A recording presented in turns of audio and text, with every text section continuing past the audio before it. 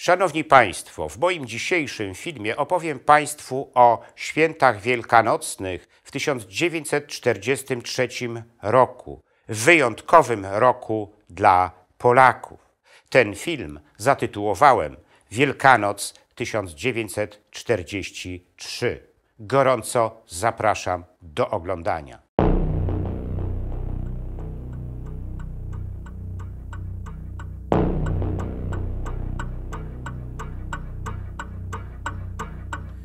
W 1943 roku święta wielkanocne przypadły na 25 i 26 kwietnia.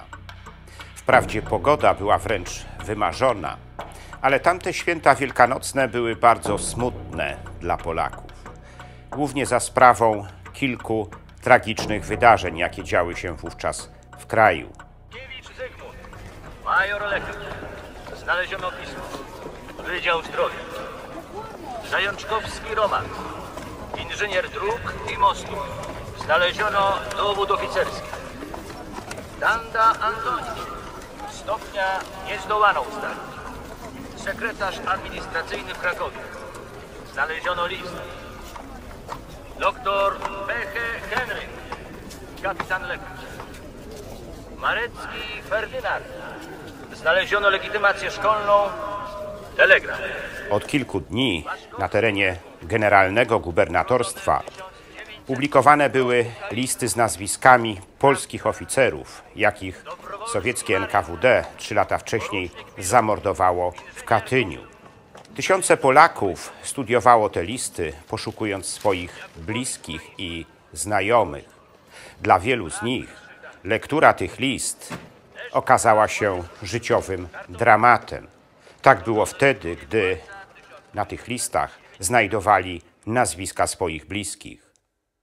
W wielu polskich kościołach groby pańskie zostały przystrojone symbolami zbrodni katyńskiej, które miały przypominać o niej zgromadzonym w kościele wiernym. Tak było między innymi w warszawskim kościele świętej Anny, ale tak było również w wielu innych kościołach w całej Polsce. Jak już Państwu opowiadałem w jednym z poprzednich moich filmów, dokładnie w Wielkanoc 25 kwietnia 1943 roku, Sowieci postanowili z powodu Katynia zerwać stosunki z rządem polskim w Londynie. Ujawnienie ofiar Katynia to nie był jedyny dramat, jaki miał wówczas miejsce w Polsce. Od tygodnia Niemcy tłumili opór zbrojny w warszawskim getcie. Wielkanocny poniedziałek przystąpili do kolejnego szturmu, zamierzając ostatecznie zdławić żydowskie powstanie. Mieszkańcy aryjskiej części Warszawy mogli wówczas słyszeć dochodzące z zamurów getta krzyki ludzi, terkot broni maszynowej oraz wybuchy pocisków, od których zapalały się kolejne budynki na terenie getta. Pożar warszawskiego getta było widać z każdego miejsca w stolicy. Niemcy niejako na przekór dziejącemu się w getcie dramatowi ustawili na placu Krasińskich po aryjskiej stronie olbrzymiej wielkości karuzelę. Korzystający z niej warszawiacy z zaciekawieniem patrzyli w stronę płonącego getta. Ta apokaliptyczna scena przypominała tą, jaka kilkaset lat wcześniej wydarzyła się na rzymskim placu Campo di Fiori, gdzie palono Giordana Bruna wśród handlujących przekupniów i zaciekawionej gawiedzi. Przejeżdżający tramwajem przez plac Krasińskich poeta Czesław Miłosz, widząc tą scenę, postanowił uwiecznić ją w swoim wierszu Campo di Fiori. Wspomniałem Campo di Fiori w Warszawie Przy karuzeli w pogodny wieczór wiosenny Przy dźwiękach skocznej muzyki Salwy za murem getta głuszyła skoczna melodia I wzlatywały pary wysoko w pogodne Czasem wiatr z domów płonących przynosił czarne latawce, łapali płatki w powietrzu jadący. Na karuzeli rozwiewał suknie dziewczynom ten wiatr od domów płonących. Śmiały się tłumy wesołe w czas pięknej warszawskiej niedzieli. Ujawnienie ofiar Katynia i pacyfikacja warszawskiego getta to nie były wszystkie dramaty, jakie miały wówczas miejsce. Na Wołyniu już od kilku tygodni bojówki ukraińskich nacjonalistów z OUN UPA atakowały wsie zamieszkałe przez Polaków. Jeszcze zanim nadeszła Wielkanoc, ukraińscy nacjonaliści zapowiedzieli, że w czasie tych świąt jaja wielkanocne będą malowane krwią Polaków. Ta złowieszcza zapowiedź ziściła się w Janowej Dolinie w powiecie kostopolskim. Tuż po północy, w Wielki Piątek, 23 kwietnia 1943 roku, Polaków w Janowej Dolinie zaatakowały bojówki UPA dowodzone przez Iwana Łytwyńczuka, Dubowyja, które wspierała okoliczna ukraińska ludność.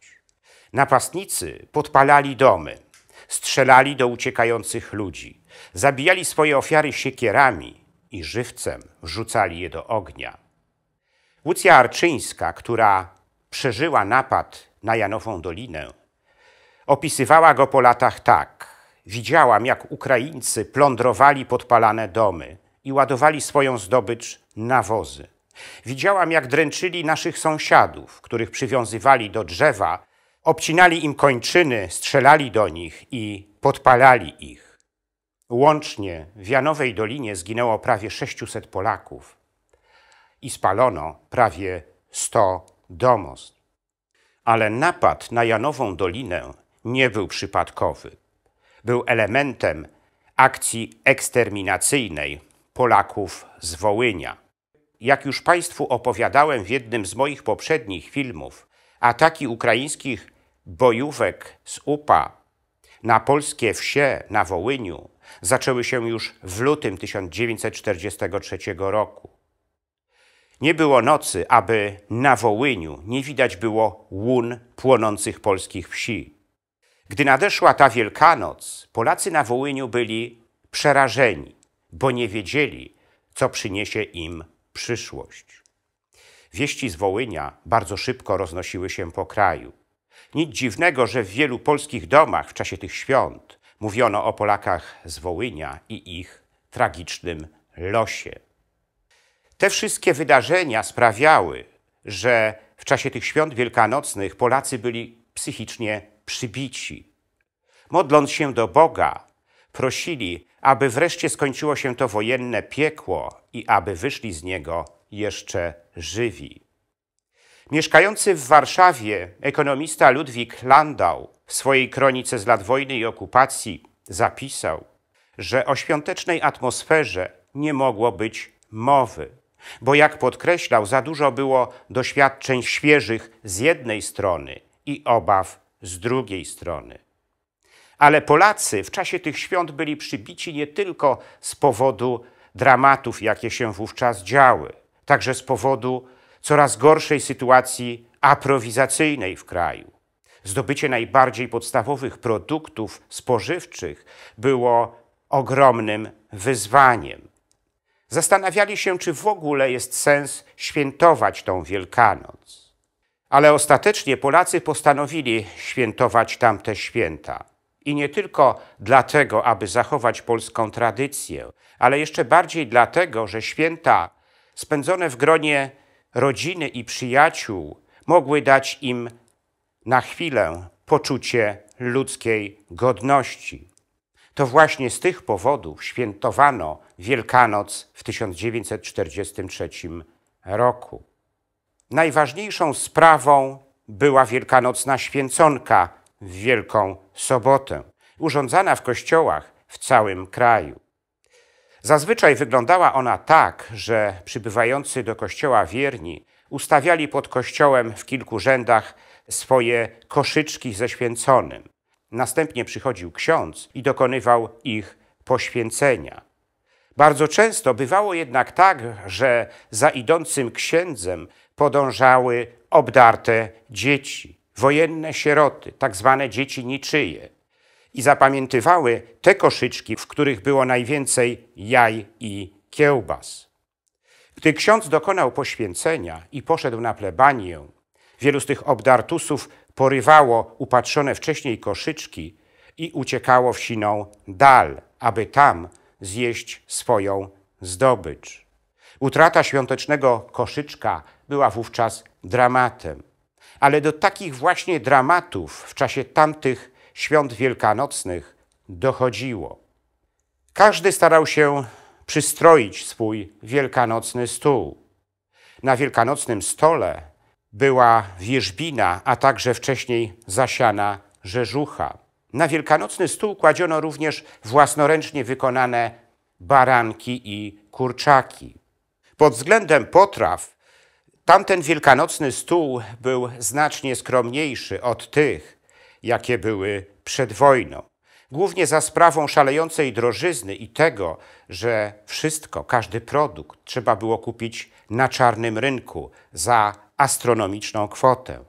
Na to stać było jedynie szmuglerów, zaradnych Volksdeutschów i szmalcowników.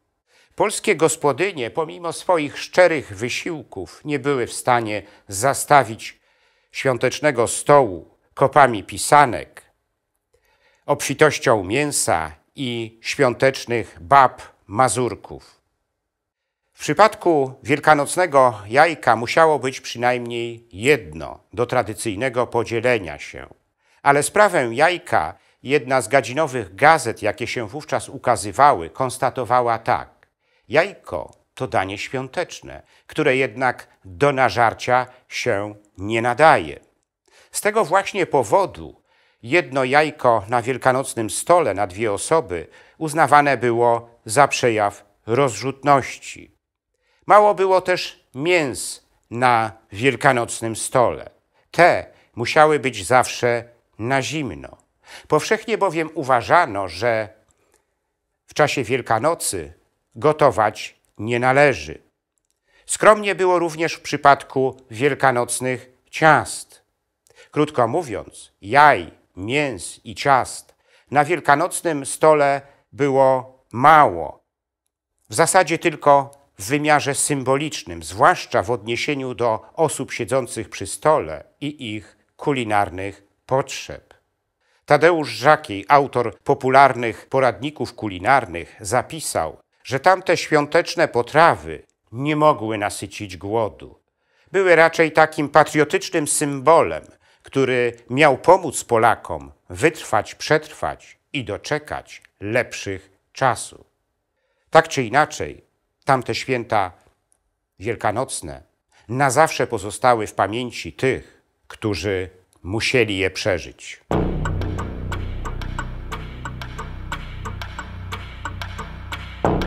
Drodzy widzowie, w następnym moim filmie, jaki zostanie wyemitowany po świętach 9 kwietnia, zainicjuję cykl opowieści na temat historii powszechnej XX wieku. W pierwszym z filmów z tego cyklu zmierzę się z najważniejszym mitem historii XX wieku, czyli tym, czy rzeczywiście Adolf Hitler doszedł w Niemczech do władzy w sposób demokratyczny. Ten film zatytułowałem Haki Hitlera. Gorąco zapraszam do oglądania.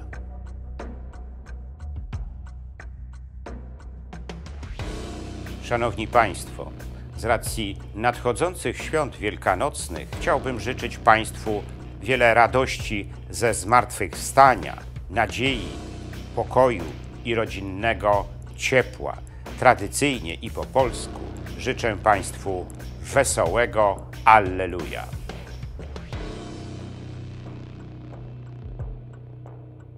Drodzy widzowie, jeśli podobał się Wam mój film, proszę kliknijcie subskrybuj.